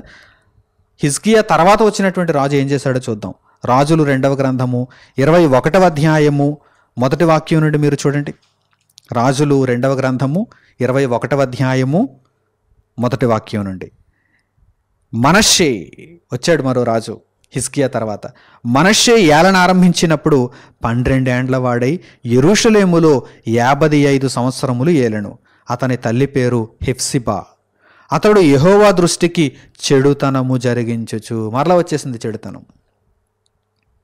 పోనీ నాకు ముందున్నటువంటి రాజైన హిజ్కియా ఇంత చక్కగా పరిపాలన జరిగించాడు ఉన్నత స్థలాలను కొట్టేశాడు విగ్రహాలను ప్రతిమలను అన్నిటిని కూడా చిన్నాభిన్నం చేసేసాడు ఎప్పటి నుండో వచ్చేసినటువంటి మోషే తయారు చేయించిన ఆ ఇతడ సర్పాన్ని కూడా చిన్నాభిన్నం చేయించేశాడు. మరి ఆయన యొక్క ప్రవర్తనను అనుసరించి నేను కూడా దేవునికి విధేయతను చూపించాలని అనుకున్నాడా? లేదు. ఇతడు యహోవా దృష్టికి చెడుతనము జరిగించుచు ఇస్రాయేలీలు ఎదుట నిలువకుండా యహోవా వెళ్ళగొట్టిన జనములు చేసినట్లు హేయక్రియలు చేయుచు వచ్చాను. మరలా సరిగ్గా అదే ప్రవర్తన. ఇస్రాయేలీలు ఎదుట ఏ జనులైతే వెళ్ళగొట్టబడ్డారో ఆ జనుల యొక్క ప్రవర్తనే మరల ఇతడు కూడా జరిగించాడు. ఇతని క్రింద ఉన్నటువంటి ప్రజలు కూడా జరిగించారు. తర్వాత తన తండ్రి అయిన హిజ్కియా పడగొట్టిన ఉన్నత స్థలములను అతడు తిరిగి కట్టించి అయిపోయింది మరలా. రాజైన హిజ్కియా ఎంత గొప్ప కార్యక్రమాన్ని అయితే జరిగించాడో ఆ తర్వాత వచ్చినటువంటి మనషే అంత దుష్కామ ప్రవర్తనను కలిగి ఉండి దుర్మార్గతను చూపించాడు. హిస్కియా పడగొట్టించినటువంటి ఉన్నత స్థలములను అతడు తిరిగి కట్టించి బయలు దేవతకు బలిపీఠములను కట్టించి ఇస్రాయేలు రాజైన అహాబు చేసినట్లు దేవతా స్తంభములను చేయించి నక్షత్రములకు మ్రొక్కి వాటిని పూజించుచుండెను. ఎంత దరిద్రుడిగా మారిపోయాడు చూసారా? మనిషి మరి తండ్రి మనుష్య యొక్క తండ్రి హిజ్కియా ఎంత గొప్పవాడు? ఎంత గొప్పగా మాట్లాడాడు దేవుడు? ఎంత గొప్పగా చదువుకున్నాం అతనిని గురించి? కానీ వెను వెంటనే వచ్చినటువంటి మనష్య అనే ఒక దౌర్భాగ్యపు రాజు ఎంత దారుణమైనటువంటి ప్రవర్తనను చూపించాడో చూడండి. ప్రియులారా ఈ సంగతులన్నింటినీ మనం గ్రహిస్తున్నప్పుడు ఇస్రాయేలీలలో నుండి ఉన్నత స్థలములైతే మాత్రం తొలగింపబడటం లేదు. ఒక్క రాజు వచ్చాడు వాటిని పడగొట్టించాడు. కానీ తర్వాత వచ్చినటువంటి రాజు మరలా తిరిగి వాటిని బాగు చేయించేశాడు కట్టించేశాడు. ప్రజలు మారాలి కదండి. ప్రజలలో మార్పు లేదు. ఇస్రాయేలీలు అయితే మార్పు లేదు. అలాగని దేవుడు ముందుగా చెప్పలేదా? దేవుడు ముందుగా చెప్పలేదా? ఇస్రాయేలీలు కనాను దేశంలో అడుగుపెట్టే ముందు మోషే ద్వారా దేవుడు పలికించాడు. ఇదిగో ఆ ప్రజలను నీ ముందు నిలువకుండా ఎందుకు వెళ్ళగొడుతున్నానంటే వారందరూ కూడా ఎంత దారుణమైనటువంటి ప్రవర్తనను కలిగి ఉన్నారు గనక వారి యొక్క పాపం పండింది గనక వారి యొక్క పాపం పరిపూర్ణం అయిపోయింది గనక వారిని వెళ్ళగొడుతున్నాను మిమ్మల్ని ప్రవేశపెడుతున్నాను మీరు మాత్రం అలా చేయకండి అన్నాడు దేవుడు. కానీ ఇస్రాయేలీలు అదే తప్పుడు ప్రవర్తనను దేవునికి చూపించారు. ఇస్రాయిలీల గురించి వ్రాయబడినటువంటి కొన్ని మాటలను ఇప్పుడు మనం చూద్దాం. రాజులు రెండవ గ్రంథము పదిహేడవ అధ్యాయము ఏడవ వాక్యం నుండి చూడండి. రాజుల యొక్క ప్రవర్తనను చెడు ప్రవర్తనను ఇప్పటి వరకు మనం చూసాం. ఆ రాజుల క్రింద ఉన్నటువంటి ఇస్రాయిలీల యొక్క ప్రవర్తన ఎంత దారుణంగా ఉందో ఇప్పుడు మనం చూద్దాం. రాజులు రెండవ గ్రంథము పదిహేడవ అధ్యాయము ఏడవ వాక్యం నుండి ఇప్పుడు మీరు చూడండి. ఎందుకనగా ఇస్రాయేలీలు ఐగుప్తు దేశములో నుండి ఐగుప్తు రాజైన ఫరో యొక్క బలము క్రింద నుండి తమ్మును విడిపించిన తమ దేవుడైన యహోవా దృష్టికి పాపము చేసి ఇతర దేవతల యందు భయభక్తులు నిలిపి తమ ఎదుట నిలువకుండా యహోవా వెళ్ళగొట్టిన జనముల కట్టడలను ఇస్రాయేలు రాజులు నిర్ణయించిన కట్టడలను అనుసరించుచూ ఉండేరి. ఇప్పటి వరకు రాజులు ఎంత దారుణమైన ప్రవర్తనను కలిగి ఉన్నారో చూసాం రాజులు అటువంటి ప్రవర్తనను కలిగి ఉన్నప్పుడు ఇస్రాయేలీలు అంటే ప్రజలు. ఆ రాజులు అనుసరించినటువంటి ఆ చెడు ప్రవర్తనని అనుసరించుచూ ఉండరు. ఇంకా చూడండి మరియు ఇస్రాయేలు వారు తమ దేవుడైన యహోవా విషయములో కపటము కలిగి దుర్బోధలు బోధించుచు అడవి గుడిసెల నివాసులను ప్రాకారములు గల పట్టణ నివాసులను తమ స్థలములన్నిటిలో బలిపీఠములను కట్టుకొని ఎత్తైన కొండలన్నిటి మీదనేమి సకలమైన పచ్చని వృక్షముల క్రిందనేమి అంతటను విగ్రహములను నిలువబెట్టి దేవతాస్తంభములను నిలిపి తమ ఎదుట నిలువకుండా యహోవా వెళ్ళగొట్టిన జనుల వాడుక చొప్పున ఉన్నత స్థలములలో దూపము వేయిచు చెడుతనము జరిగించుచు యహోవాకు కోపము పుట్టించి చేయకూడదని వేటిని గూర్చి యహోవా తమకు ఆజ్ఞాపించెనో వాటిని చేసి పూజించుచుండిరి. ఎంత దారుణమైన ప్రవర్తన అండి. దేవుడు ముందుగా చెప్పినందుకైనా వీరు ఎలా చేస్తున్నారు అన్నట్టుంది. దేవుడు చెప్పలేదండి. దేవుడు ముందుగా వీరికి సమస్తాన్ని గూర్చి చెప్పాడు. ఇదిగో మీ ముందున్నటువంటి ప్రజలు ఎందుకు వెళ్ళగొట్టబడుతున్నారు అనే దానిని ఇస్రాయిలీలకు ఆయన చెప్పాడు. అయినా సరే దేవుడు చెప్పడమా మేము చేయకపోవడమా అన్నట్టు. వీరు ఆ జనులు ఎటువంటి చెడు ప్రవర్తననైతే కలిగి ఉన్నారో అంతకంటే ఘోరంగా వీరు కలిగి ఉన్నట్టుగా దేవుడు ఇక్కడ తెలియజేస్తున్నాడండి ఎత్తైన ప్రతి కొండ మీద పచ్చని ప్రతి చెట్టు కింద విగ్రహారాధనే విగ్రహారాధనే విగ్రహారాధనే. ఇస్రాయేలు రాజ్యంలో ఎటు మూల చూసినా సరే విగ్రహారాధికులే కనిపిస్తున్నారు. మరల కపటము కలిగి దుర్బోధలు చేస్తున్న వారు కూడా కనిపిస్తున్నారు. అంటే దేవుని యొక్క వాక్యాన్ని పూర్తిగా కలిపి చెరిపేశారు మార్చేశారు. వీరందరిని బట్టి ఈ పరిస్థితులు అన్నింటిని బట్టి దేవుడు చాలా కోపంతో ఉన్నాడు. ఇస్రాయేలుల మీద చాలా కోపంతో ఉన్నాడు. చూడండి అయినను మీ దుర్మార్గములను విడిచిపెట్టి నేను మీ పితరులకు ఆజ్ఞాపించినట్టియు నా సేవకులకు ప్రవక్తల ద్వారా మీకు అప్పగించినట్టియు ధర్మశాస్త్రమును బట్టి నా ఆజ్ఞలను కట్టడలను అనుసరించుడని సెలవిచ్చి ప్రవక్తలందరి ద్వారాను దీర్ఘదర్శుల ద్వారాను యహోవా ఇస్రాయేలు వారికిని యోధా వారికిని సాక్ష్యము పలికించినను వారు విననివారై తమ దేవుడైన యహోవా దృష్టికి విశ్వాసఘాతకులైన తమ పితరులు ముష్కరులైనట్లు తామును ముష్కరులైరి. మరల దేవుడు కనికరిద్దాం అనుకున్నాడు. ప్రవక్తలను పంపించాడు. యాజకులను పంపించాడు. మరల దేవుని ధర్మశాస్త్రంలో ఉన్నది ఉన్నట్టుగా చెప్పేటువంటి నీతిమంతులను వారి మధ్యకు దేవుడు పంపించాడు. కానీ వారు వినరైరి విశ్వాసఘాతకులు మేమంటున్నారు. మమ్మును నీవు ఐగుప్తు బానిసత్వంలో నుండి విడిపించావన్న సంగతిని ఎప్పుడో మర్చిపోయామంటున్నారు వారు. ఈ కణాను దేశంలో నీవే మమ్మను ప్రవేశపెట్టావు అనేటువంటి విషయాన్ని ఎప్పుడో మర్చిపోయామంటున్నారు వారు. మా ఇష్టాన్ని మేము నెరవేర్చుకుంటామంటున్నారు వారు. విశ్వాసఘాతకులైపోయారు. తరము వెంబడి తరము తరము వెంబడి తరము. ఆ ఉన్నత స్థలములు ఎందు విగ్రహారాధన చేయుటికే తప్ప పరలోకమందున దేవుని వైపు తిరిగేటువంటి మనిషి ఒక్కడు కూడా కనిపించకపోవడంతో దేవుడు ఈ మాటలను అన్నింటినీ కూడా గ్రంథంలో పొందుపరచమన్నాడు. సాక్ష్యాలుగా ఉంచమన్నాడు. ఇంకా పరిశుద్ధ గ్రంథంలో మనం చూడగలిగితే కీర్తనల గ్రంథానికి మనం వెళదాం.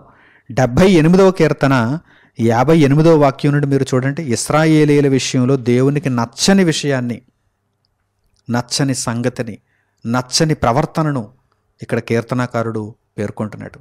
డెబ్భై ఎనిమిదవ కీర్తన యాభై ఎనిమిదవ వాక్యం నుండి చూడండి. వారు ఉన్నత స్థలములను కట్టి ఆయనకు కోపము పుట్టించిరి. నా మాటలలో ఏమైనా మీకు తప్పు అనేటువంటి భావన కలుగుతుందా? నేను పరిశుద్ధ గ్రంథంలో ఉన్న మాటలనే దేవుని యొక్క భావాలనే మీకు తెలియజేస్తున్నాను. దేవునికి కోపం పుట్టించారండి ఉన్నత స్థలాలను నిర్మించుకుంటే దేవునికి కోపమా అని మీరు ప్రశ్నిస్తే దేవునికి కోపమే. ఎవరు చెప్పారు మీకు ఉన్నత స్థలాలను నిర్మించమని? ఉన్నత స్థలాలను కట్టి అక్కడ మీరు విగ్రహాలను పెట్టి మీకు ఇష్టమైనట్టుగా బలుడు నర్పించమని ఎవరు చెప్పారు మీకు? దేవుడు ప్రశ్నిస్తున్నాడు. వారు దేవునికి కోపమును పుట్టించిరి వారు ఉన్నత స్థలములను కట్టి ఆయనకు కోపమును పుట్టించిరి విగ్రహములను పెట్టుకొని ఆయనకు రోషము కలుగజేసిరి. పరలోకమందున దేవుని యొక్క కోపాన్ని రేపుతున్నారు వీరు విగ్రహాలను పెట్టుకొని. ప్రతిమలను పెట్టుకొని దేవుడు దీన్ని చూచి ఆగ్రహించి ఇస్రాయేలునందు బహుగా అసహ్యించుకొనెను. దేవుడు దీనిని అంతటిని పరలోకంలో నుండి చూస్తున్నాడు.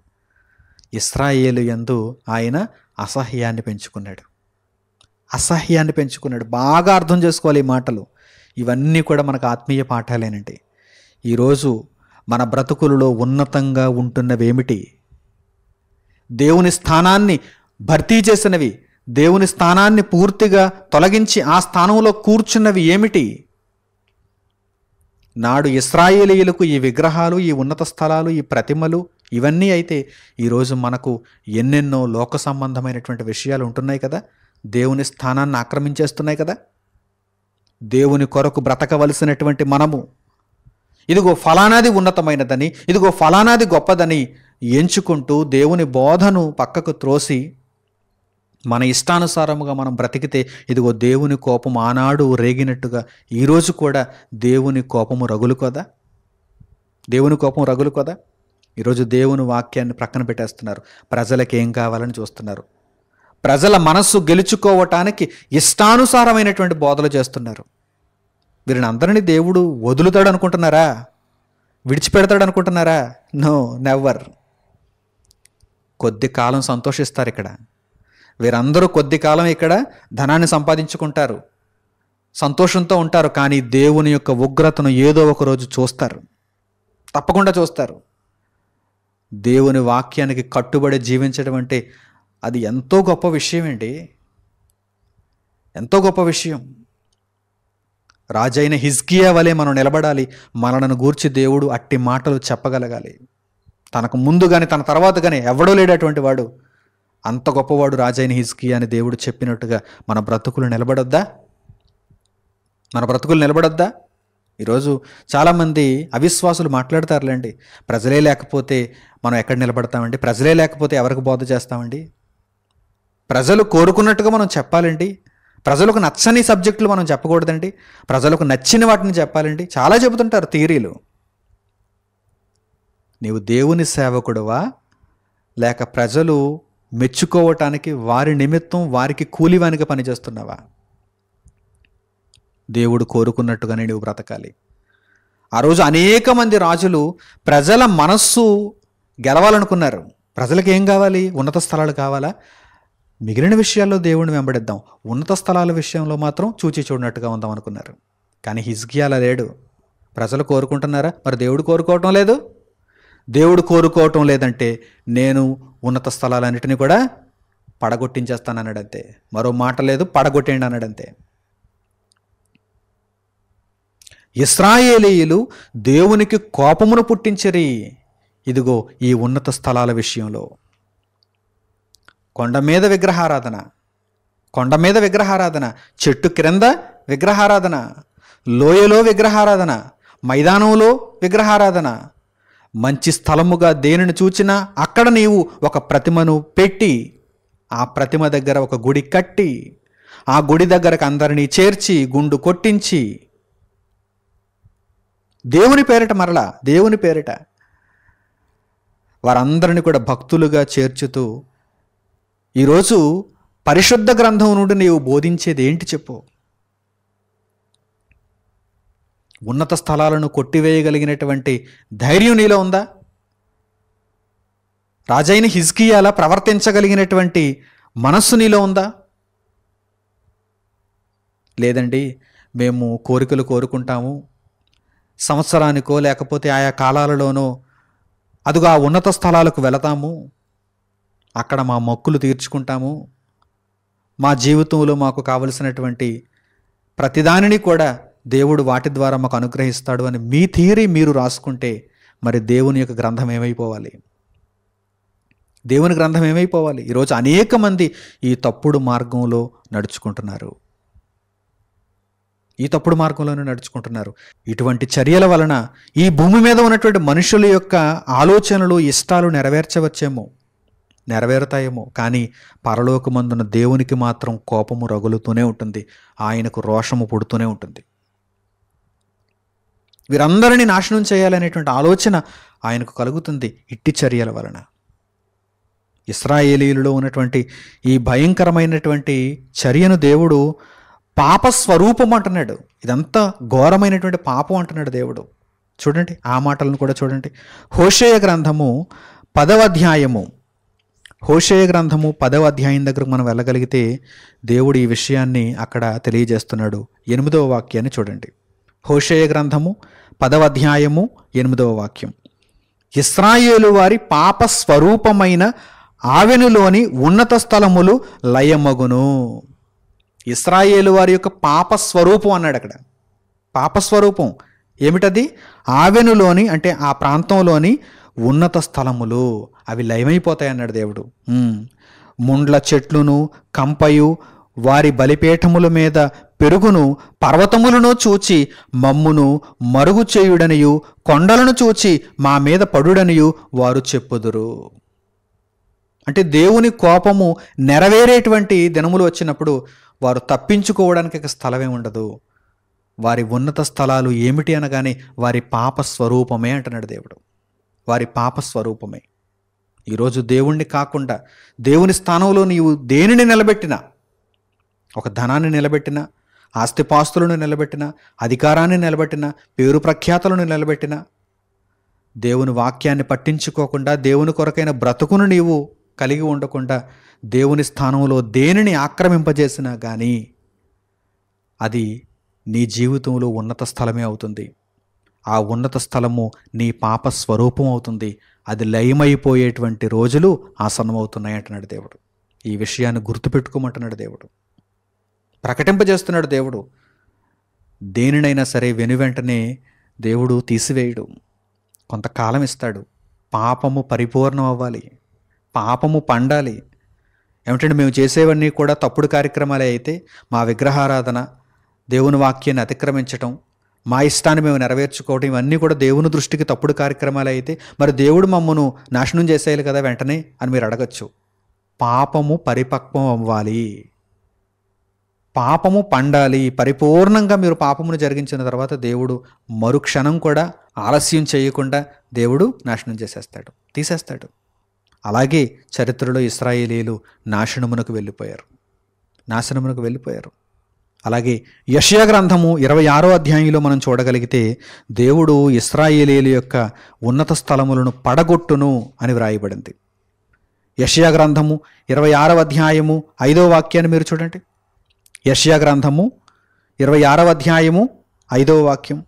ఆయన ఉన్నత స్థల నివాసులను ఎత్తైన దుర్గమును దిగగొట్టువాడు. ఆయన వాని పడగొట్టెను నేలకు దాని పడగొట్టెను ఆయన ధూళిలో దాని కలిపి ఉన్నాడు ఉన్నత స్థల నివాసులు అంటే అక్కడ ఉన్నటువంటి విగ్రహాలు ఎత్తైన దుర్గములు వీటన్నింటినీ ఆయన దిగగొట్టువాడు పడగొట్టువాడు అని వ్రాయబడింది చూడండి. అంటే దేవుని దృష్టికి బహు కోపమును పుట్టించుచున్నటువంటి చర్యలే. ఇవన్నీ కూడా దేవుని దృష్టికి కోపాన్ని పుట్టిస్తున్నటువంటి చర్యలే అని మనం అర్థం చేసుకోవాలి. కనుక ఇక మీదట ఉన్నతుడకు దేవుని వైపు మనం చూస్తూ ఉన్నత స్థలం అంటే పరలోకము కనుక ఆ లోకానికి వెళ్ళాలంటే భూమి మీద ఉన్నతంగా బ్రతకాలనేటువంటి ఆలోచన మనలో ఉండాలి తప్ప ఇక్కడేదో ఉన్నత స్థలాలను మనము కట్టేసుకుని నిర్మించేసుకుని అక్కడకు వెళ్ళి మన ఇష్టానుసారమైనటువంటి ప్రవర్తనను మనం కలిగి ఉంటూ దేవుణ్ణి మరిచిపోతే దేవుని వాక్యానికి విలువనివ్వకపోతే మనము దేవుని యొక్క ఉగ్రత నుండి ఎలా తప్పింపబడతాం చెప్పండి? ఉన్నత స్థలం అనేది పరలోకమే తప్ప ఈ భూమి మీద ఎక్కడా కూడా ఉండటానికి వీలు లేదు. దేవుడు ఉండే స్థలము అనగానే అది పరలోకమే. దానిని గూర్చి కూడా పరిశుద్ధ గ్రంథంలో కొన్ని మాటలు రాయబడ్డ యష్యా గ్రంథంలో ముప్పై మూడవ అధ్యాయం ఐదో వాక్యాన్ని మీరు చూడండి. ఉన్నత స్థలము అనగానే ఈ భూమి మీద ఉండేది కాదండి. ఈ భూమి మీద మనుషులు తమ ఇష్టానుసారంగా నిర్మించుకునేది కాదండి. దేవుడు ఉండేటువంటి చోటు అనగానే పరలోకం అది. ఉన్నత స్థలము అని దేనికైనా మీరు పేరు పెట్టాలి అంటే భూమి మీద ఏ స్థలానికి మీరు పేరు పెట్టడానికి వీలు లేదు కానీ పరలోకమందున్న దేవుని యొక్క సన్నిధికి మాత్రమే ఉన్నత స్థలం అనే పేరుంది. చూడండి.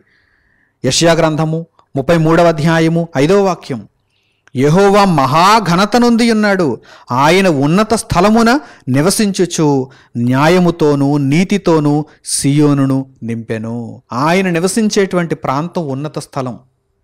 ఆయన మహాఘనతనుంది ఉన్నవాడు. మరి ఆయనను గూర్చి తెలుసుకోకుండా ఆయనను అర్థం చేసుకోకుండా ఆయన నివాసము ఎక్కడ ఉన్నదనేటువంటి ఆలోచన నీకు లేకుండా ఈ భూమి మీద ఏదో కొండ మీదో పచ్చని చెట్టు క్రిందో నీవు నీకిష్టమైనట్టుగా ఒక ప్రతిమను నిలబెట్టి ఒక విగ్రహాన్ని నిలబెట్టి దానికి పూజలు చేస్తూ నీకిష్టమైనట్టుగా నీవు ఆచారాలను కలిగి ఉంటే అది దేవుని దృష్టికి న్యాయమా? దేవునికి కోపాన్ని పుట్టించే చర్యలే తప్ప మరొకటి కానే కావవి. అలాగే ఇర్మియా గ్రంథము పదిహేడవ అధ్యాయము పన్నెండవ వాక్యం నుండి కూడా చూడండి. ఇర్మియా గ్రంథము పదిహేడవ అధ్యాయము పన్నెండవ వాక్యం నుండి. ఉన్నత స్థలమున నుండు మహిమగల సింహాసనము మొదటి నుండి మా పరిశుద్ధాలయ స్థానము. అదే పరలోకంలో ఉన్న దేవుని యొక్క నివాసం. ఇక్కడ ప్రవక్త అంటున్నాడు చూడండి ఉన్నత స్థలమున నుండు మహిమగల సింహాసనము అంటే పరలోకములో ఉండు మహిమగల సింహాసనము మొదటి నుండి ఎప్పటి నుండో ప్రారంభం నుండి కూడా మా పరిశుద్ధాలయ స్థానము. క్రింద ఫుట్నోట్లో కూడా చూడండి లేక మహిమ సింహాసనమా మొదటి నుండి ఉన్నత స్థలమా మా పరిశుద్ధాలయ స్థానమా? అనగా దేవుడు నివసించే చోటు అదే పరలోకము దానికి తప్ప. ఇక ఎక్కడ ఏ ప్రాంతానికి కూడా ఉన్నత స్థలము అని పేరు పెట్టడానికి వీలు లేదు. అలాగే పదమూడవ వాక్యం ఇస్రాయేలునకు ఆశ్రయమా? యహోవా నిన్ను విసర్జించి వారందరూ సిగ్గునందుదురు. నా ఎడల ద్రోహము చేయువారు యహోవాను జీవజలముల ఓటను విసర్జించి ఉన్నారు గనక వారు ఇసుక మీద పేరు వ్రాయబడిన వారుగా ఉందురు. నిన్ను విసర్జిస్తే నీ గొప్ప ఉన్నతమైనటువంటి స్థలమును పట్టించుకోకుండా భూమి మీద ఒక కొండ మీదో ఒక పచ్చని చెట్టు క్రిందో వారు ఉన్నత స్థలములను నిర్మించుకుంటే ఇసుక మీద వారి పేరు వ్రాయబడినట్టుగా ఉంటుంది అని ప్రవక్త తెలియజేస్తున్నాడు. ఇప్పటికిప్పుడు మేము బాగానే ఉన్నాం కదా అంటే ఇసుక మీద పేరు రాసినప్పుడు కూడా చెక్కబడినటువంటి పేరుగా కనిపిస్తుంది. కానీ ఎంతకాలం ఉంటుంది అది? ఇసుక మీద వ్రాయబడిన పేరు ఎంతసేపు ఉంటుంది? ఎంతకాలం ఉంటుంది?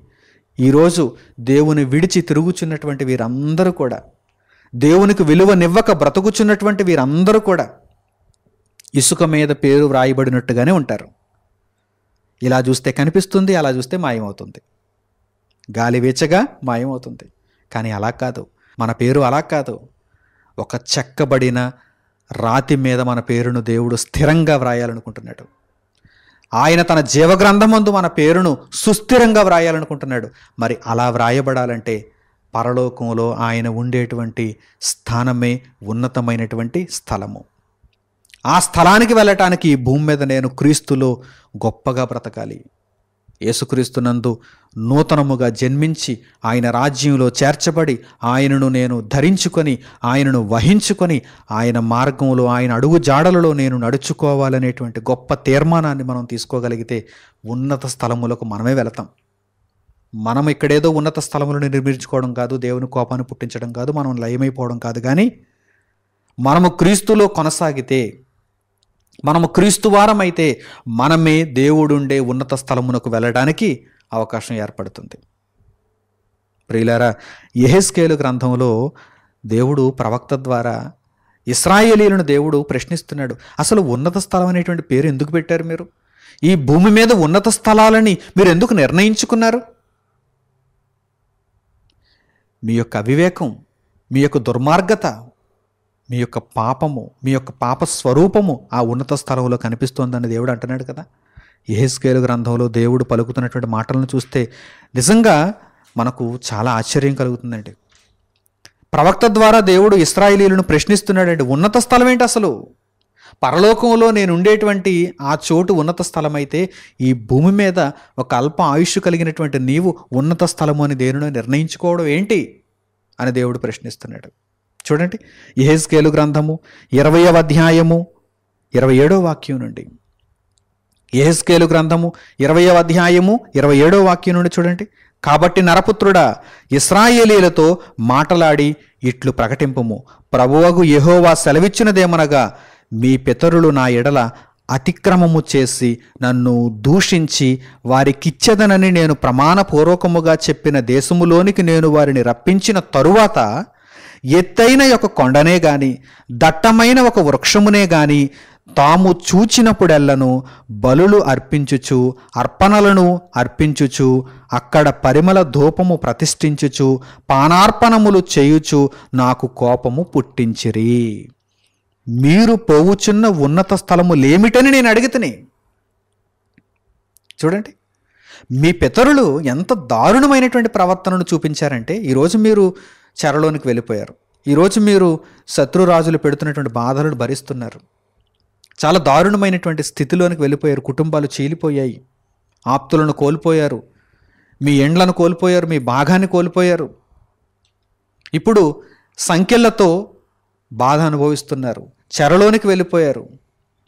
ఎంత దారుణమైనటువంటి స్థితిలోనికి మీరు వెళ్ళడానికి కారణం ఏంటంటే ఇదిగో మీ యొక్క చెడు ప్రవర్తన.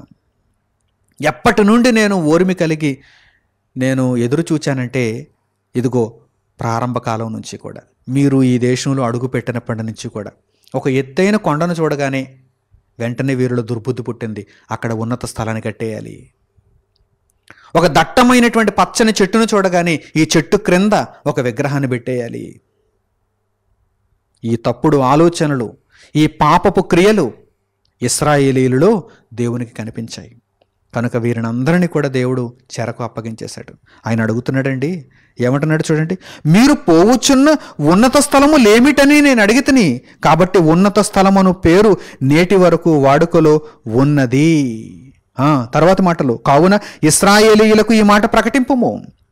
ప్రభువైన యహోవా సెలవిచ్చినదేమనగా మీ పితరుల రీతిని మీరును అపవిత్రులైతిరే. వారు పెట్టుకొనిన విగ్రహములను అనుసరించుచు మీరును వ్యభిచారులైతిరే. నేటి వరకును మీరు అర్పణములను అర్పించి మీ కుమారులను అగ్నిగుండము దాటించినప్పుడు మీరు పెట్టుకొనిన విగ్రహములన్నిటికీ పూజ చేసి అపవిత్రులగుచున్నారే. ఇస్రాయేలీలారా నా యొద్ద మీరు విచారణ చేయుదురా. నా జీవము తోడు నా వలన ఆలోచన మీకు దొరకదు. ఇదే ప్రభువైన యహోవా వాక్కు? చూసారా? ఉన్నత స్థలములేమిటి? ఉన్నత స్థలములేమిటి? అదే మాటను వాడుకలోనికి తెచ్చి ఉన్నత స్థలము ఉన్నత స్థలము అని వీరు గొప్పగా చెప్పుకుంటున్నారండి. దేవుడేమో ప్రశ్నిస్తున్నాడండి ఉన్నత స్థలములేంటయ్యా? ఉన్నత స్థలములేంటి? వీరు మాత్రం దేవుడు వారిని ప్రశ్నిస్తున్నాడు అనేటువంటి భావన లేకుండా ఉన్నత స్థలములు ఉన్నత స్థలములు వాటిని ఉండనిద్దామంటున్నారు దేవుడేమో కోపంతో రగిలిపోతున్నాడు అనే విషయం వీరికి అర్థం కావటం లేదు. ఉన్నత స్థలములలో మా ఇష్టాన్ని మేము నెరవేర్చుకోవాలనేటువంటి ఆలోచనతో వారు ఉన్నారు తీరా కష్టం వారిని పలకరించేసరికి తీరా వేదనలోనికి వారు దిగిపోయేసరికి దేవా దేవా దేవుడా దేవుడా మమ్మను కాపాడు అంటున్నారు. అప్పుడు దేవుడు అంటున్నాడు నా యొద్ద నుండి ఏ మాత్రం మీ దగ్గరకు మంచి రానేరాదు దీవెన రానేరాదు మీరు నా యొద్ద విచారణ చేస్తే మీకు ఏ విధమైనటువంటి ఆలోచన దొరకదు. ఎందుకంటే అతి దారుణమైనటువంటి ప్రవర్తన తరాలుగా తరాలుగా మీరు కొనసాగించుకుంటూ వచ్చారు. ఇదిగో ఈ ఉన్నత స్థలముల విషయంలో నా మనసు నొప్పించారంటున్నాడు దేవుడు. కనుక మీరు నాశనమునకు అప్పగింపబడినప్పుడు అసలు మిమ్మల్ని నాశనమునకు అప్పగించింది నేను కదా అంటున్నాడు దేవుడు. మీరు నన్ను వెదకినా నేను మీకు ఇక దొరకను. మీకు ఆలోచన దొరకదు. మీకు దీవెన దొరకదు. మీకు సమాధానం దొరకదు అంటున్నాడు దేవుడు. కనుక ప్రియులారా ఈరోజు నేడు ఈ ఆత్మీయ పాఠాన్ని మన జీవితాలకు తీసుకోగలిగితే నాడు ఇస్రాయేలీలు దేవుని యొద్ద నుండి శాశ్వతముగా దూరం అయిపోయేటువంటి పరిస్థితులు ఎలాగైతే వచ్చాయో నేడు కూడా మన బ్రతుకులలో క్రీస్తును అనుసరించక దేవుని కొరకు మనం బ్రతకక మన జీవితాలలో ఉన్నతమైనటువంటి వాటిని వేటునో వేటునో మనము ఆపాదించుకొని మనం బ్రతికితే కన్ను మూస్తే దేవునికి మనకు ఎంత భారీ ఎడబాటు అక్కడ కలుగుతుందో తెలుసా? నిత్య నాశనానికి మనం తరలింపబడితే దేవుడు ఉన్నత స్థలంలోనే ఉంటాడు. అటువంటి పరిస్థితి రాకుండా ఉండాలంటే మన జీవితంలో మన బ్రతుకులో ఎల్లప్పుడూ దేవుడు ఉన్నతంగా ఉండాలి. ఎల్లప్పుడూ దేవుడు ఉన్నతంగా ఉండాలి. దేవుని కొరకే ఏదైనా దేవుని నిమిత్తమే ఏదైనా దేవుని తర్వాతే ఏదైనా. దేవుడు చెప్పినట్టుగా మనం బ్రతకాలి. దేవుడు వద్దన్నట్టు మనం ఏమాత్రం చేయకూడదు. మరలా మరలా నేను చెబుతున్నాను జ్ఞాపకం ఉంచుకోండి. ఏదో కొద్దిగా దేవుని పట్ల భయభక్తులను చూపించేస్తే సరిపోతుంది అనుకోకండి. ఇస్రాయేలీలలో చాలామంది కొద్దిగా దేవుని పట్ల భయభక్తులు చూపించారు కానీ దేవుడు పూర్ణ హృదయంతో భయభక్తులను కోరుకుంటున్నాడు. దేవుని పట్ల మనము భయభక్తులను చూపించాలంటే ఎలా చూపించాలి? పూర్ణమైనటువంటి విధేయత పూర్ణమైనటువంటి భక్తి ఆయనకు కావాలి. అరకొర కాదు. కనుక ఇస్రాయేలీలు ఎంతోమంది దేవునికి శాశ్వతంగా దూరం అయిపోయారు. మనం అట్టి వారంగా ఉండకుండా.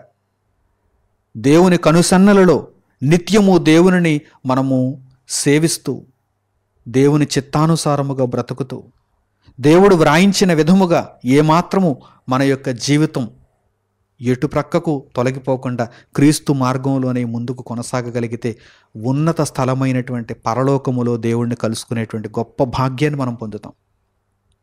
లేదు ఈ భూమి మీద ఏదో ఉన్నతమైనది ఏదో ఉన్నతమైనది ఒక ధనం ఉన్నతమైనది ఒక పొలం ఉన్నతమైనది లేకపోతే ఆస్తిపాస్తులు లేకపోతే అధికారాలు అందచందాలు ఇవన్నీ కూడా ఉన్నతమైనవి దేవుడు తర్వాత ఎక్కడో అని మీరు అనుకుంటే దేవునికి మీకు శాశ్వతమైనటువంటి దూరం తప్పదు.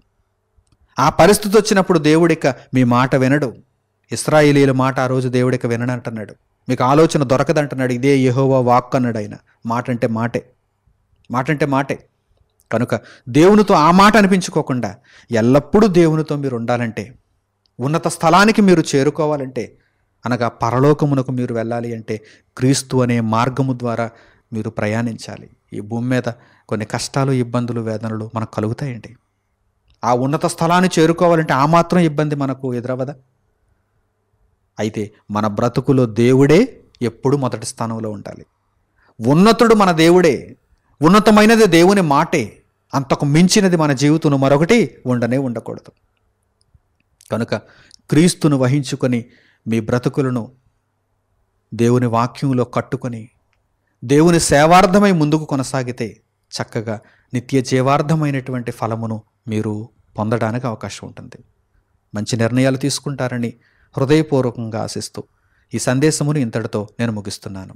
తండ్రి అయిన దేవునికి ప్రార్థనలు ఏకీభవించండి. మహోన్నతుడును మహాపరిశుద్ధుడు నేను మా కన్న తండ్రి. ఈ సమయమందు మీరు మాకు అనుగ్రహించిన ఈ చక్కని సందేశము కొరకు మా హృదయపూర్వకమైన కృతజ్ఞతాస్తుతులు తండ్రి. దేవా ఇస్రాయేలీలు అనేక మంది మీ దృష్టికి వ్యతిరేకముగా నడుచుకున్నారు. అరకొర భక్తిని చూపించారు. మీకు శాశ్వతంగా దూరం అయిపోయారు మేమైతే అట్టి వారముగా ఉండకుండా పరిశుద్ధాలయము ఉన్నతమైనటువంటి స్థలము పరలోకములోనే ఉన్నదని మేము తెలుసుకుంటూ.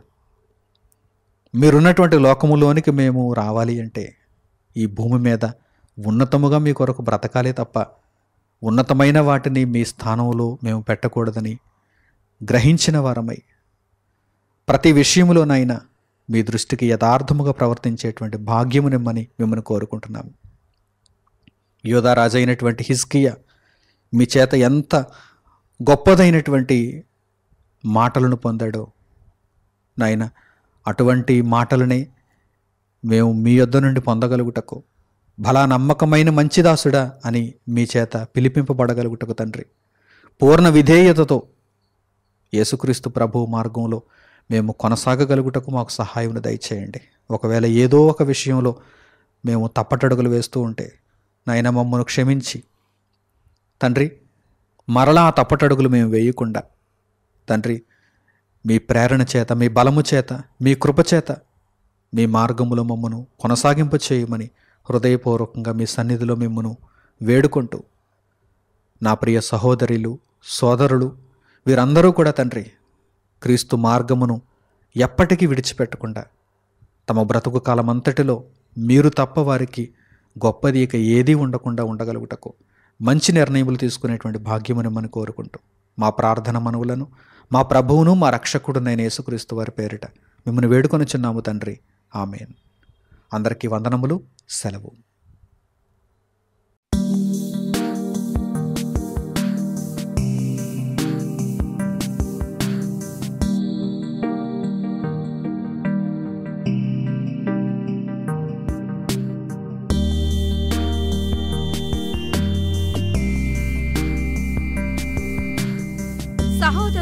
మణికుమార్ గారు ప్రసంగించిన ఎన్నో ఆత్మ సంబంధమైన సంగతులను ఉచితముగా వీక్షించుటకు మా యూట్యూబ్ ఛానల్స్ను తప్పక దర్శించండి.